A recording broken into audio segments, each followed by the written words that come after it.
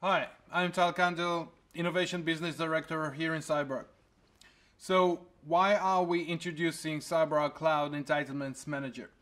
During the last couple of years, we saw more data breaches resulting from misconfiguration issues that exposed over-permissive entitlements in cloud infrastructure and platforms. Malicious actors are taking advantage of poorly managed permissions and capturing sensitive data. Cloud Entitlements Manager is all about helping cloud stakeholders mitigate that potential risk with least privilege. By providing cross-cloud visibility, recommendations, and deployable remediation policies, we allow those stakeholders the ability to clean up excessive permissions. This way, users and services get the right permissions and the right entitlements so they can operate securely and successfully. CyberArk Cloud Entitlements Manager brings detection of advanced permission risks born out of CyberArk Labs, proprietary AI to remediate risky permissions, fast time to value with a zero footprint SaaS solution, easy to use, centralized dashboard. And now, Chris Maroon, CyberArk Global SE Director for Emerging Technologies. Hi, I'm Chris Maroon, and I just really want to take a quick moment to thank you all for taking the time out of your day to join us for this presentation of a really exciting new solution from CyberArk, Cloud Entitlements Manager, and I'm going to talk you through it. So, first of all, let's talk a little bit about what CyberArk has been focusing on, right? Over the last, you know, several years, right, including past the decade, uh, CyberArk has focused on least privilege across all platforms, right? Windows and Unix and databases and many more. And now with Cloud Entitlements Manager, we can also focus on least privilege for cloud services. So today, IAM functionality as part of those cloud infrastructure services, they're not necessarily enforcing least privilege. So how can CyberArk help with this? Let's take a look. What we're going to do is we're going to show off the solution here. And it all starts right here in our main dashboard, which is referred to as the radar or the cloud environment radar. Now, there's a lot of valuable information right on the main screen and visually appealing to the user. They're able to not only just look at all the cool colors, they actually mean something. And the size of the bubbles also mean something as well. So if we're taking a look at the, the bubbles, the orange are going to represent one thing and the tan colors are going to represent another. We'll dive into that here in just a second. So inside of this, what we're getting is more information. So up in the top left-hand corner, we can actually see 61% medium exposure. Now, we'll talk a little bit more about that as we get into some details. But you can also see the forward connected platforms. You can see exposure over time, and we can change that based upon, you know, either a year or six months or really just this last past week. So what we want to do is we want to talk a little bit more about the bubble side of the, the screen here. So if I zoom in, let's say, for example, on AWS, I can see all of the different accounts that I actually have and that is actually being managed within the Cloud Entitlements Manager interface. Now, it also exposes the exposure level of AWS and all of it put together. So we can see that that exposure level actually went up to 67%. And that's essentially because it's all of the accounts uh, blended together and averaged out to reach that number. So inside of this, we can actually get out, we can zoom out, we can look at some of the other ones. So we can see over here, we've got some Azure subscriptions with a medium exposure level of 50. We can zoom back out, we can get into GCP, and we can see the number of different projects that are involved there. But let's take a stab at a little bit more information about AWS. Now, what we can see is, is there's actually a difference in the colors. Now, this actually means something. So visually, administrators are going to be able to see exactly what's going on without really having to get in to get more details. So as you can see at the top of the bubble uh, sphere here, what we've got is one that just happens to be a tan shade. Now, that means that that exposure level is actually below that 30% level, which is a good thing. That means that we've taken the steps to remediate any risks that are involved in that AWS account. Now, if we look at one a little bit deeper, let's go into this CEM D1 environment. Now, this is an account and you can see it has a medium exposure level of 48%. So it's a little bit lower than the average, and that's probably because one of our AWS accounts is actually really high, and we'll deal with that at another time. But from that 48%, what we can see is his top recommendations. So we can see the top accounts or roles or other entities that are causing um, some exposure levels to be a little bit high. We can see that we've got 22 entities inside of this AWS account.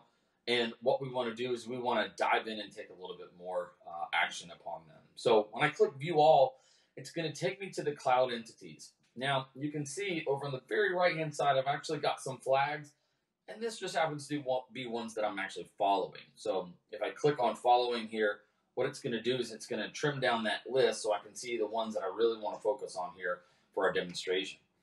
So I've got this Cyber CEM D1 S3 bucket access role. Now, this role is actually giving us a lot of information right on the main screen. So we can see from an overview perspective what the overall exposure level is and what that actually means. And we'll, we'll come back to that here in a second. We've got exposure over time, and we've also got this really awesome visual uh, access map, and we'll dive into that here in just a little bit as well. So let's back up just a little bit to the 60% level. Now, what does that mean? As you can see, we're looking at target resource. Now, this can be anything from EC2 to S3 to RDS and any of the other number of 200 and almost 40 services out of AWS. And that's going to link over to that permission type whether it's read only or list or write access, anything that gives it full admin access over that one service. And then there's some other outlining factors that will play into that 60%, including some of the tap activities that have really been utilized um, by anybody that's utilizing this role, but also the ones that aren't being utilized. So we want to kind of take into consideration all of that, and that's where that CyberArk proprietary algorithm is going to kick in and give us that 60% number. So let's take a look more on the exposure level um, access map. So if we look over on the right hand side of the screen, what we'll see is an access map that's going to detail out what folks can actually do. So if I click on the entity, I can actually show some different things. But let's back up and actually go to a user. So this is Robert. He belongs to the DBA team. And you can see that his access map allows us to be able to click on the user in a, in a sense, and then see what resources he's able to gain access to. In this case, it would be S3. And then also be able to dive into what S3 buckets he actually has, because those are the permissions that are being applied by the policy. But you can also see that he's got some access that maybe he shouldn't have or doesn't utilize. And so we can kind of go back and forth with this used and unused permission toggle switch that gives us that really hardcore necessary information to see what Robert is actually doing and what he truly needs access to. So being able to see the use permission would essentially show us what the policy would look like in a least privilege model. Now, if we jump over here to the permissions tab, let's say for example, the permissions tab are going to show us exactly what he's been doing over a period of time. And he's going to show you essentially the activities, how many times, when was the last time they use it, and also really importantly, what the associated policy is that's giving Robert, in this case, that permission setup. So now what we want to do is we want to look at the recommendation side of the house. But I'm going to back up and I'm going to use the CEM D1 S3 bucket access role that we were utilizing to begin with. Now, let's dive in. How do we take those permissions and really provide a better option from a policy perspective? So, we're going to head over to the recommendations tab, and right from there, you're going to be able to see a big button that says create fix. We just need a little easy button, and that's essentially what it's going to do. So we click create fix, and essentially it's going to give us two easy to do steps. The first one is going to be obviously to create a new policy with the attached JSON. Now, it's very important to understand that it's not a one size fits all approach, that this JSON is very specific to AWS, where other platforms, as we'll look at here in just a little bit, will actually be very specific to those environments. So we'll copy this, and then at the second step, it's actually going to tell us, hey, we need you to remove these other two policies because those policies are giving anybody that utilizes this role just way too many permissions or as we've said before, excessive permissions. So what I'm going to do is I'm going to copy this um, JSON and then I'm going to essentially going to attach it as an inline policy, or like I said, you can do another truly managed policy and keep up with versions. But as I mentioned, it's a recommendation, and you can do uh, multiple things with it. So we're in this role now inside of AWS. Now, what I'm going to do is I'm going to click over here on the right hand side of the screen. That's going to say add inline policy. Now, here's where it gets really easy because essentially I would have to go through and choose out of 239 services and all the permissions that could lead up to just about 7,300 permissions. We don't want to do that. We're just going to go over here to the JSON. We're going to delete out the actual one and we're going to paste in everything that we just got from Cloud Entitlements Manager. Now, if I scroll up and scroll down, you'll see that it is in JSON that AWS can actually understand. If we click review policy, essentially what we're going to do here is we're going to see the permissions that this role actually needs just based upon all those factors that we talked about with the exposure level. So I'm just going to name it here CEM and we'll call it um, our, our access uh, policy for S3. And then I'm going to go ahead and save this. And essentially what it's going to do is it's going to go ahead and create the new policy. And then what we'll do is we'll go ahead and detach the other policies because we don't really need those permissions anymore because we've set up a brand new least privilege policy that is going to give everybody exactly what they need when they're utilizing this role. Now, as this happens, we're going to scan that environment one more time just so that way we can see some of the immediate benefits that are happening. So, if we kind of go back over to uh, the the environment, what we're going to see is is that this access map uh, on the main overview page. Now, this access map is essentially going to be able to uh, show all of those permission changes, which we'll see here in just a little while. So um, now let's look at one of our other platform types. So what I'm going to do is I'm just going to go back and I'm going to go ahead and clear all to just kind of get rid of everything. I'm going to remove my following flag. And now we can kind of see that we've got some Azure accounts in there. We've got some GCP accounts in there. And let's see if we can filter on just our GCP environments.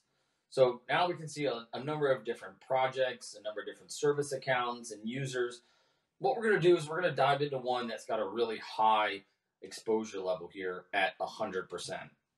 So as you can see on the main target screen, all the same information. What's going to be a little bit different is the recommendations. So when I click on create fix, this wasn't is actually going to expose out some of the shadow admin privileges that this service account actually has. Now, that's a good thing because you need to know how does one account gain shadow admin privileges? And what we can see is, is that we've got one permission in place that is actually being used and several ones that are not being utilized. So what we want to do is we want to look at the, the options. What do we want to do with these permissions? You get three options really, right? Remove all shadow admin privileges or remove just the ones that are in use or not in use and then or keep all shadow admin privileges and I don't think you want to do that. So we'll go with the middle option here. Let's keep only the shadow admin privileges that are actually being used. So we can go to next at the bottom and now you'll see that instead of just copying the JSON, CyberArk's Cloud Entitlements Manager is actually going to give you the ability to copy out the command for gcloud shell to be able to paste it in there. It creates the right permissions, and then the administrator would just need to add the custom role to that service account and then remove the ones at the bottom that is actually giving it those excessive permissions. So this is essentially how it works within the GCP environment. As I mentioned, We've got a lot more information right there on the screen. The access map is going to be very, very crucial, but it's giving us that capability. So now we've gone through AWS and we've gone through GCP. We talked a little bit about Microsoft Azure.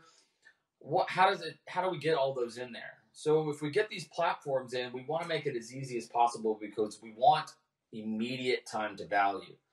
So if I go into AWS, for example, I can click on the little plus symbol at the top and here you can see, right, we can just add in an account ID and then we've got an automatic configuration that is essentially just going to spin up a CloudFormation template and voila, everything is connected. So there's nothing that you have to install. Um, there's nothing that you have to do except for connect the account, and we're immediately going to start to read all of the information in that account to be able to provide all of the value that is needed. So it's really quick to add those accounts in there. Now, you might be thinking, well, what about some APIs? How do I interact with this product, this solution, um, in a automated fashion? So what we can actually do is we can set up API keys for as many different platforms as you want. So if you want to interact with it through Splunk or through some other security event management system or whatever, you can add in an API key and you can do things like get recommendations and list all entities and get me an alert whenever something is actually going wrong or doesn't really look right. And we can even do that with webhooks. So we can set up webhooks for, let's say, for example, if the global exposure level has exceeded a certain amount, we can go ahead and send out a webhook right then and there so you can get those alerts. So that kind of takes us through some webhooks and some API, but just in summary, coming back to the exposure level radar, we're able to really see the changes that are happening in this account.